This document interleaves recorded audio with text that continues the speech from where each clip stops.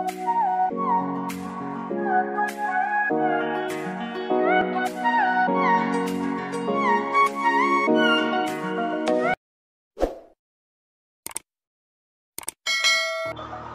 guys welcome back to new video तो दोस्तों, आप थंबनेल देखकर समझ ही गए होंगे कि आज किस टॉपिक पर वीडियो मैंने बनाई है।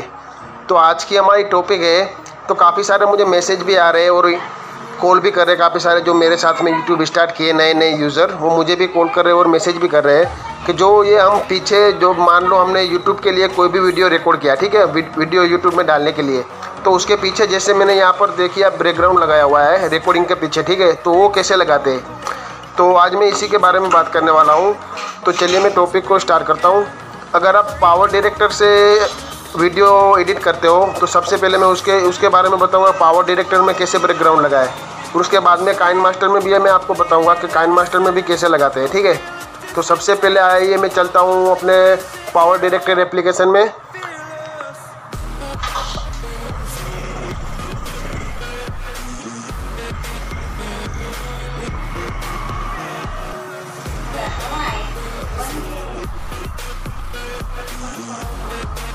तो यहाँ से आपको जो यूट्यूब यूज़र रहते हैं एडिटिंग करते हैं यहाँ से पावर डायरेक्टर में तो उनको तो पता ही रहता है क्या करना है यहाँ पर। तो सबसे पहले न्यू प्रोजेक्ट पर क्लिक कीजिए। और यहाँ पर जो यूट्यूब वाला जो दिख रहा है ना, इसी को क्लिक करना है, ठीक है?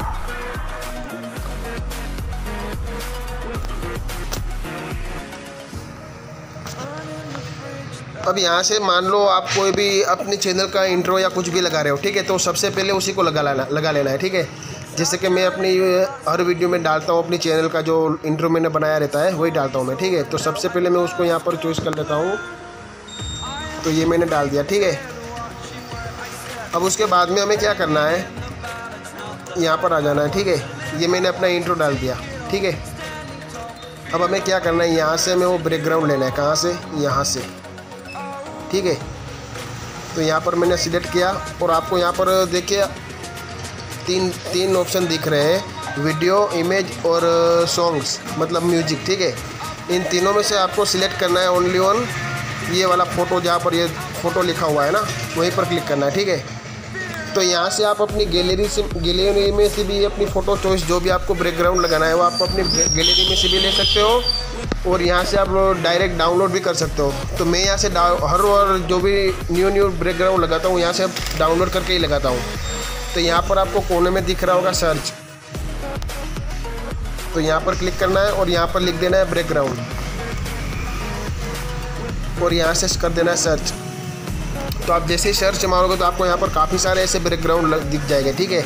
जो आपके यूट्यूब में लगाने के लिए एकदम बेस्ट रहेंगे। और आपका वीडियो भी अगर कोई भी आप बनाते हो तो वो भी इस बैकग्राउंड को लगाने के बाद में एकदम मस्त लगेगा, ठीक है? तो यहाँ से मैं एक बैकग्राउंड को सिलेक्ट कर लेता हूँ। मैं ये सिलेक्ट कर लेता हूँ और इसको यहाँ पर रख दिया, ठीक है? यहाँ से बैक हो जाना है। बिल्कुल बैक हो जाना है, ठीक है? अब इस फ़ोटो पर बैकग्राउंड पर क्लिक करना है और इसको थोड़ा जितना भी है, जितने टाइम का आपका वीडियो बना हुआ है, उस हिसाब से इसको कर लेना है, ठीक है? मतलब आपका दो मिनट का वीडियो है तो यहाँ पर दो मिनट सेलेक्ट कर लेना है, ठीक है? अगर पाँच मिनट का वीडियो है तो इसको पाँच मिनट तक ले जाना है, ठीक है? तो यहाँ पर मैं शॉर्ट में आपको बता देता हूँ, मान लो मैंने रखा थर्टी सेकेंड का, ठीक है? तो ये रख दिया मैंने। उसके बाद में आपको क्या करना है, आपने जो स्क्रीन रिकॉर्ड किया रहता है ना यूट्यूब के लिए, उसको यहाँ पर ले आना है। कहाँ से? यहाँ पर सिलेक्ट करके, ठीक है?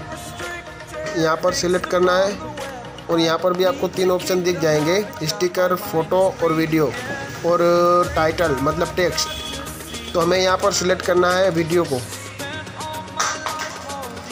वीडियो को सिलेक्ट करने के बाद में आपको यहाँ पर वो वीडियो लानी है जो आपने रिकॉर्ड की हुई है, ठीक है? यूट्यूब में डालने के लिए।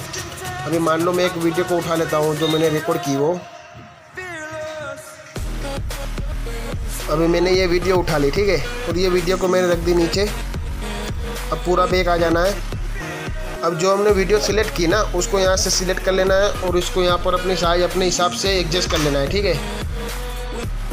ये मैंने अपनी साइज़ एडजस्ट कर ली और यहाँ से इसको छोड़ देना है, ठीक है? अब आप देख सकते हो, आपके रिकॉर्डिंग के पीछे बैकग्राउंड लग चुका है। आप जिस टाइम जितना भी टाइम आप रखना चाहते हो, यहाँ से सिलेक्ट करके रख सकते हो, ठीक है? यहाँ पर इसको क्लिक करना है। और यहाँ से इसको बढ़ा देना। है इस तरीके से, ठीक है?